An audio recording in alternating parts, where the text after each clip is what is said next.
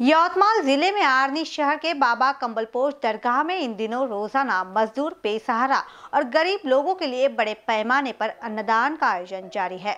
Corona संकट में मानव सेवा की अनूठी मिसाल बने दरगाह ट्रस्ट की काबिल तारीफ़ पहल पर पेश है एक रिपोर्ट। कहते हैं, वली अल्लाह के दोस्त होते हैं और दोस्त हर मुश्किल घड़ी में साथ होता है। इसी मान्यता को हकीकत में साकार होते हम आर्नी शहर के बाबा कम्बलपोश दरगाह में देख सकते हैं। यहाँ दरगाह ट्रस्ट की ओर से पूरी लगन से इंसानियत का साथ निभाने की मिसाल ऐसे वक्त में परवान चढ़ रही है, जब इसकी सबसे ज़्यादा ज़रूरत है। कोरोना इस संक्रामक बीमारी के चलते देश भर में जारी लॉकडाउन से आर्नी शहर भी छूझ रहा है। परिसर के गरीब लोग और मेहनतकश मजदूरों के हाथों में काम नहीं है। वहीं मोहल्ले और बाजारों में सन्नाटा होने से फकीर, भिक्षुक और बेसहारा लोगों का हाल बेहाल है। नतीजन, इन लोगों के लिए दो वक्त की रोटी जुटाना भी बेहद मुश्किल हो रहा है। इसी परेशानी के मद्देनजर स्थानीय बाबा कम्बलपोश दरगाह ट्रस्ट ने जरूरतमंदों के लिए एक मदद का हाथ आगे बढ़ाया है। यहाँ पर दरगाह ट्रस्ट की ओर से बीते 30 मार्च से सोशल डिस्टेंसिंग के तहत रोज़ाना स्वादिष्ट खाने के पैकेट वितरित किए जा रहे हैं। खूप पार्सल पण चांगले त्यांना। गर्दी नाही होत काही नाही काही नाही. खूप छान जेवण दरगाह परिसर में जरूरतमंदों के लिए जारी ताजे खाने के वितरण के साथ ही माह रमज़ान के मद्देनजर रोजेदारों के इफ्तार के लिए यहाँ सुबह आठ बजे से बारह बजे तक फ़ूड पैकेट्स मुहैया किया जा रहा है।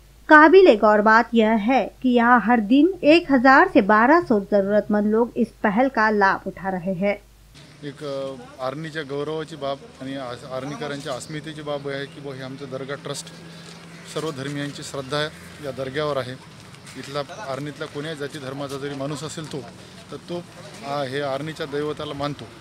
याच अनुषंगाने स ट्रस्टचे अनेक सामाजिक उपक्रम दरवर्षी राबवल्या जातात. प्रत्येक ज्यावेळेस हे आरणीकरांवर संकट आले असेल त्यावेळेस दर्गा ट्रस्ट ही मदत करते. परंतु आज पूर्ण भारतावर या जगावर जे महामारीचं संकट आलेलं आहे कोरोनाच्या रूपाने तर यामध्ये आ- मागील जवळपास दीड महिन्यापासून दोन महिन्यापासून लॉकडाऊनसारखा विषय झाला की गोरगरिबांना काम उपलब्ध नाही आहे मग अशा परिस्थितीत त्यांच्या उदरनिर्वाहाचा प्रश्न मोठ्या प्रमाणात उपल निर्माण झाला. यामध्ये जे काही एक फुल नाही फुलाची पाकळी म्हणून दर्गा ट्रस्ट खूप मोठ्या प्रमाणात इथे मदत करत आहे.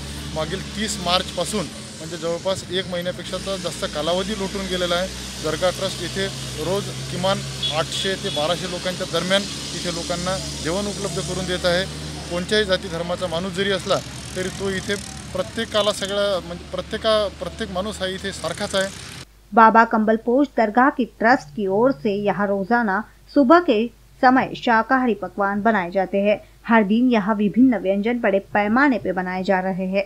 इस काम के आगाज़ से लेकर जरूरतमंदों को इसे उपलब्ध कराने तक शहर के कई युवा स्वेच्छा से इसमें हिस्सा लेते हैं। इस दौरान खाना बनाने, खाना पैकिंग करने और वितरण के दौरान हाइजीन यानी साफ़ सफ़ाई का पूरा ख्याल रखा जाता है।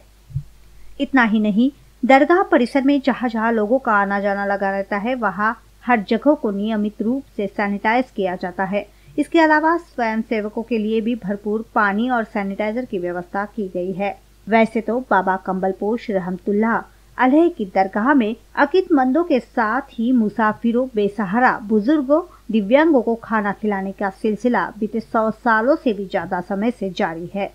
शहर पर जब भी महापुर सहित किसी भी अन्य प्राकृतिक आपदा ने दस्तक दी, तब दरगाह ट्रस्ट ने हज़रत बाबा कम्बलपोश रहमतुल्लाह अलैह की खिदमत खल यानी मानव सेवा की विरासत को बखूबी निभाया है।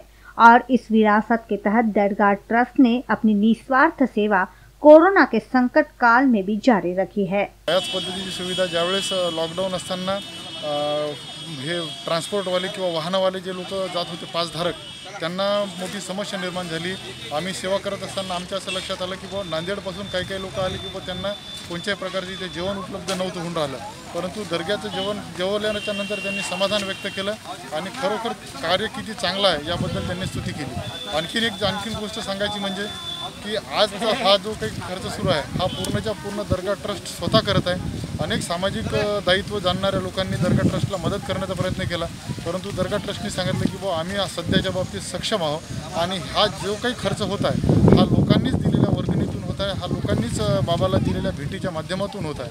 त्याच्यामुळं हा लोकांनीच दिलेला पैसा लोकांच्याच कामी येत आहे. खऱ्या अर्थानं सर्वसामान्य लोक दर्गा ट्रस्टचे खरोखर आभार व्यक्त करतात की या परिस्थिती जरूरतमंदों को रोज़ाना खाना उपलब्ध कराने तक ही दरगाह ट्रस्ट संतुष्ट नहीं, बल्कि हाल ही में ट्रस्ट की ओर से दरगाह परिसर में स्थित बिजली, लॉन, पार्किंग, पानी इत्यादि सुविधाओं से लेस फ़ंक्शन हॉल को भी ज़िले के कोरोना संदिग्ध मरीजों को क्वारंटाइन करने के लिए निशुल्क रूप से उपलब्ध कराया है। इस संदर्भ में ट्रस्ट ने 12 अप्रैल को स्थानीय तहसीलदार को जिलाधिकारी के नाम ज्ञापन सौंपा है।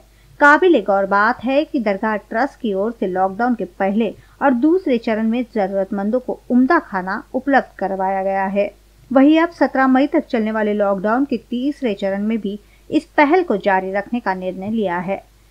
कुल मिलाकर कोरोना संक्रमण के संकट के दौरान बाबा कम्बलपोश दरगाह ट्रस्ट हर स्तर पर मानव सेवा की विरासत के अपने दायित्व को खूबसूरती से निभा रहा है।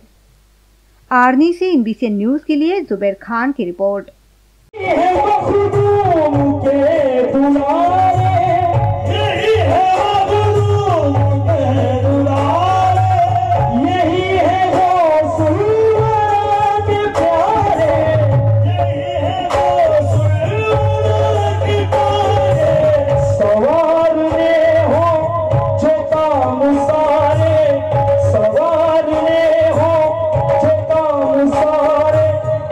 Hãy subscribe